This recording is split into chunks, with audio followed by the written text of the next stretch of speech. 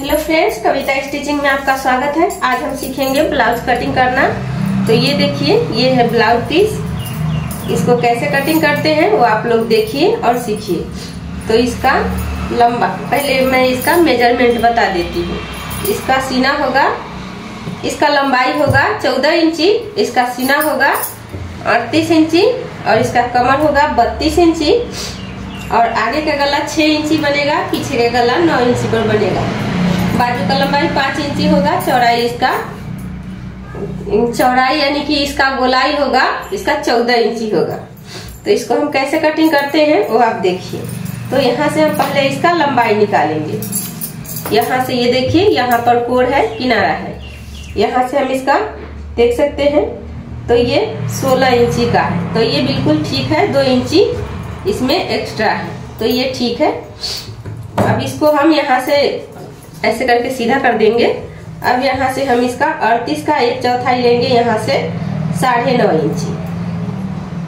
यहाँ पर निशान लगाएँगे, इसमें हम दो इंची सिलाई मार्जिन लेंगे। यहाँ पर निशान लगाएँगे, आगे पीछे का पल्ला हम एक साथ ही कटिंग कर रहे हैं तो इसको हम इस तरह से हम इसको ऐसे करके फोल्ड कर देंगे। ये देख सकते हैं, इस तरह से। अब यहाँ से हम इसको कटिंग कर देंगे।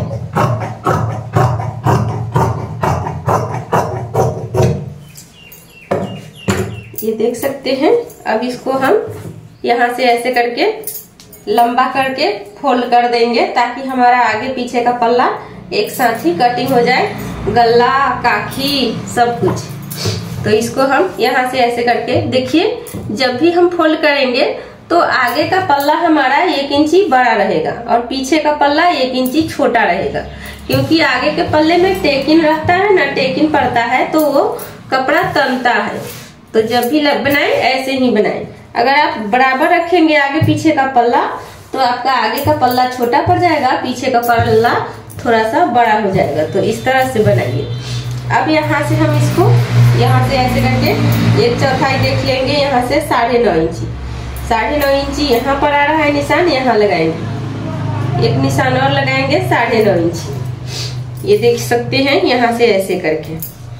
अब यहाँ से हम इसका तीरा लेंगे, ऐसे करके यहाँ से सवा पाँच इंची। यहाँ निशान लगाएँगे।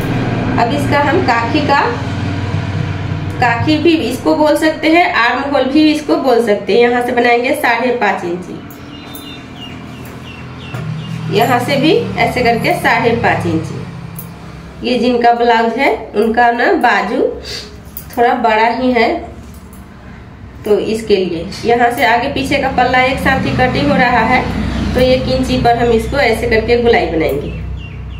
ये देख सकते हैं इस तरह से। अब यहाँ से हम गला बनाएँगे नॉर्मल गला दो इंची पर। इसमें डोरी वगैरह नहीं लगेगा। अब यहाँ से हम लेंगे पीछे का गला, यहाँ से लेंगे ऐसे करके नौ इंची। आगे का गला बनाएँगे ऐसे करके छ इंची। छह इंची यहाँ पर रखना है, इसी के निशान से यहाँ पर आगे के पल्ले में निशान उगा देना है। ये देख सकते हैं, ऐसे करके। ऊपर हम सवा दो इंची लिए हैं। नहीं, ऊपर हम दो इंची लिए हैं तो नीचे हम सवा दो इंची पर लेंगे। आप ढाई इंची भी ले सकते हैं, लेकिन मैं इसमें सवा दो ही रखे हुए क्योंकि इनको ज़्यादा गला अच्छा नहीं है, इतना पर भी ठीक है। अब इसमें हम यहाँ से ऐसे करके गुलाई बनाएँगे। देख सकते हैं? इस तरह से। अब यहाँ से हो गया। अब हम इसका कमर निकालेंगे। कमर इसका बत्तीस इंची है। तो एक चौथाई हम लेंगे यहाँ से आठ इंची। यहाँ पर निशान लगाएँगे। एक इंची हम लेंगे इसमें सिला एक इंची हम लेंगे इसमें टेकिन डालने के लिए। यहाँ पर रखेंगे और दो इंची हमारा रहेगा यहाँ पर सिलाई मार्जिन। तो यहाँ पर निशान लगाने के बाद यहाँ से हम इसको ऐसे करके थोड़ा सा डाउन कर देंगे। ये देख सकते हैं, इतना कपड़ा हम कटिंग करके निकाल लेंगे। सिर्फ़ पीछे के पल्ले में, आगे के पल्ले में अभी हमने आपको नहीं बताया है। अब ये देखिए, यहाँ से हम देख लेंगे, साढ़े नौ इंची यहाँ पर आ रहा है। इसको हम यहाँ से ऐसे फीता रख के हाफ़ कर देंगे। यहाँ पर हम बनाएँगे टेकिन टेकिन हम जब भी बनाएँगे, बीचों बीच बनाएँगे, ताकि हमारा बराबर आए। अब यहाँ से टेकिन का उठाव हम देंगे चार इंची पर। आधा इंची हम इधर दबाएँगे, आधा इंची इधर दबाएँगे। तो एक इंची का हमारा टेकिन बन के रेडी होगा, इस तरह से। तो देखिए, पूरा निशान लग चुका है। अब हम इसी पर कटिंग करेंगे।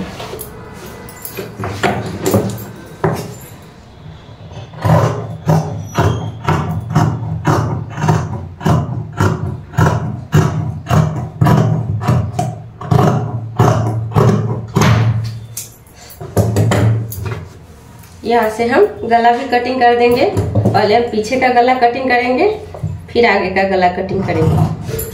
देखिए, जैसा हमने निशान लगाया है सेम वैसा ही कटिंग करना है।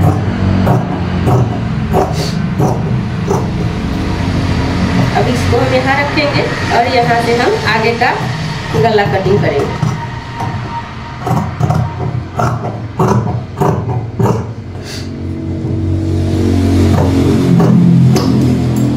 देखिए, इस तरह से बनाइएगा तो बिना डोरी के भी ब्लाउज बन के रेडी होगा। कंधा बिल्कुल भी नहीं गिरेगा। बिल्कुल फिनिशिंग के साथ बनेगा। और यहाँ से हम इसको ऐसे करके, ये देख सकते हैं, पीछे का पल्ला उठाएँगे और इतना हम कपड़ा कटिंग करके निकाल देंगे। ये देख सकते हैं, इस तरह से यहाँ पर हम इसको ऐसे करके एक कट का निशान लगा देंगे ताकि जब हम सिले तो दोनों टेकिन बराबर आए। निशान रखने से ठीक रहता है। देख सकते हैं, इस तरह से गला होगा। बनने के बाद और भी खूबसूरत बन के तैयार होगा। अब हम इसको साइड करेंगे और देखिए, आगे के पल्ले में हम कैसे टेकिन वगैरह बनाते हैं। तो ये देखिए, इसको हम यहाँ से ऐसे करके रख देंगे। अब हम इसका सीना का निकालेंगे पहले तो यहाँ से हम लेंगे ऐसे करके साढ़े नौ इंची। साढ़े नौ इंची पर यहाँ निशान लगाएँगे। नीचे भी हम साढ़े नौ इंची लेंगे, यहाँ पर। इस निशान को इस निशान से हम ऐसे करके सीधा कर देंगे। अब यहाँ से हम इसको ऐसे करके बनाएँगे। ये देख सकते हैं, यहाँ से हम लेंगे ऐसे करके साढ़े दस इंची। आप चाहे, क्योंकि आधा इंची इसमें सिलाई मार्जिन में दब, दबता है तो दस इंची पर हमारा टेकिन बन के रेडी होगा। यहाँ से ऐसे करके साढ़े दस इंची पर हम ऐसे निशान लगाएँगे। अब यहाँ से हम इसके कमर से यहाँ से देखेंगे साढ़े नौ इंची, साढ़े नौ का हाफ़ कर देंगे। यहाँ पर निशान आ रहा है, यहाँ पर निशान लगाएँगे, देख सकते हैं, यहाँ से लेंगे। अब इसका हम नीचे का टेकिन हम डेढ़ इंची का बनाएँगे, आगे का आगे के पल्ले में तो डेढ़ इंची को यहाँ से बीचों बीच रखना है और यहाँ से हम इसको ऐसे करके बनाएँगे। ये देख सकते हैं, जिस तरह से हमने इसमें निशान लगाया है सेम इसी तरह से हमको टेकिन के लिए भी टेकिन बनाना होगा। यहाँ से दो इंची लेंगे, इधर। यहाँ से दो इंची हम लेंगे, इधर। दो इंची हम इधर भी लेंगे। देख सकते हैं कितना बराबर में आ गया। इसी निशान को हम यहाँ से ऐसे मिलाएँगे। ये देख सकते हैं, यहाँ से ऐसे और यहाँ से भी ऐसे। देख सकते हैं कितना आसान हो गया। अब यहाँ से हम इसको थोड़ा सा इधर से भी ऐसे करके बनाएँगे। यहाँ से भी ऐसे करके। और यहाँ से भी इतना करके, इतना हमको टेकिंग में दबाते हुए बनाना है। अब देख सकते हैं, ये एक इंची का है तो इसमें हमको आर्म होल थोड़ा सा और कटिंग करना होगा। तभी हमारा फिनिशिंग के साथ बन के रेडी होगा चाहे तो ऐसे भी बना सकते हैं, लेकिन उतना फिनिशिंग नहीं आएगा। तो आप इतना कटिंग करके निकाल दें। तभी आपका ब्लाउज में चुन्नट वगैरह जो होता है, वो कोई भी दिक्कत नहीं होगा। और ब्लाउज फिनिशिंग के साथ भी बनता है। तो इसको हम यहाँ से ऐसे करके कटिंग कर देंगे।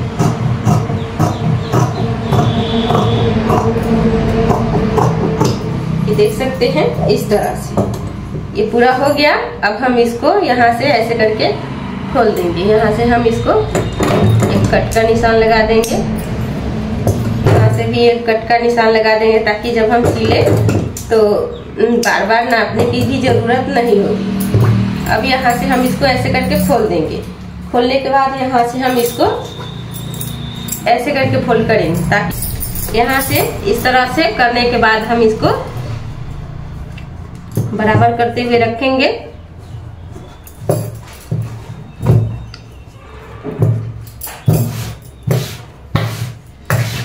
इसको हम यहाँ से खोल देंगे। देखिए हल्का हल्का हो गया है। इसी पर हम डार्क कर देंगे।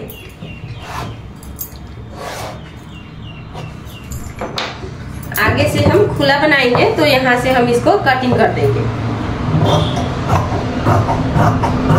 इसमें बटम वाला बनेगा तो इस एक तरफ़ बटम रहेगा, एक तरफ़ से काज रहेगा। तो इसको हम यहाँ पर साइड करेंगे। अब हम बाजू कटिंग करेंगे। तो ये देखिए, इस तरह से कपड़ा है। इसको हम यहाँ से ऐसे करके फोल्ड कर देंगे।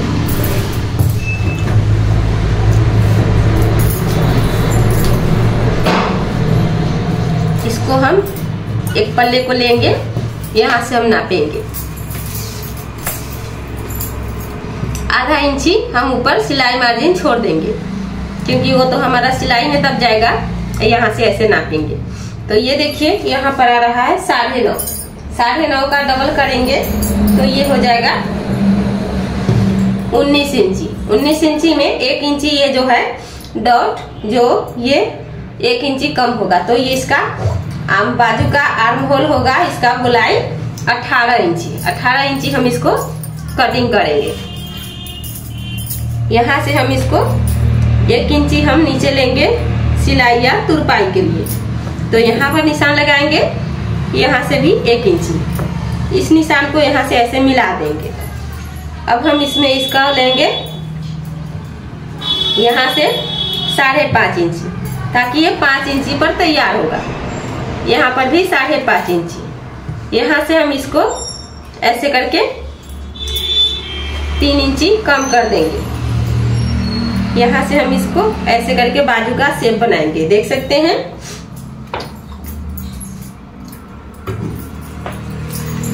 अब इसका हम गोलाई देखेंगे। तो ये देखिए, नौ इंची आ रहा है। नौ का डबल करेंगे तो अठारह इंची हो जाएगा। इसको हम यहाँ से ऐसे करके कटिंग कर देंगे।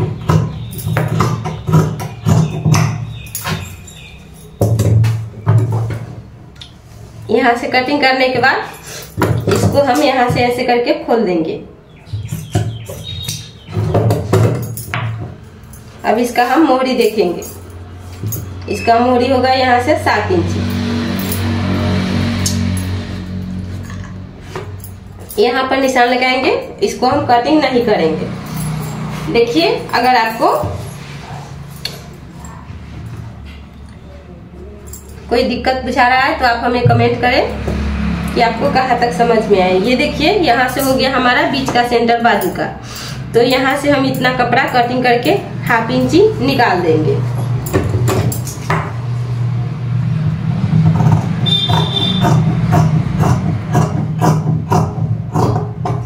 ये देख सकते हैं इस तरह से।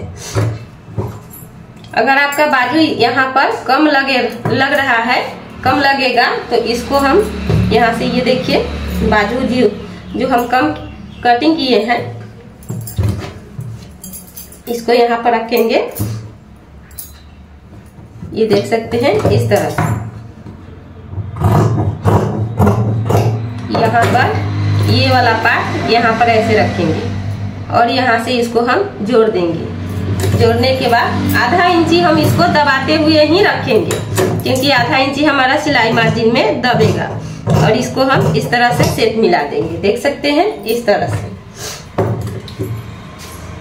तो अब हम इसको ऐसे करके नौ इंची नापेंगे। नौ इंची या साढ़े नौ इंची भी आप यहाँ से ले सकते हैं।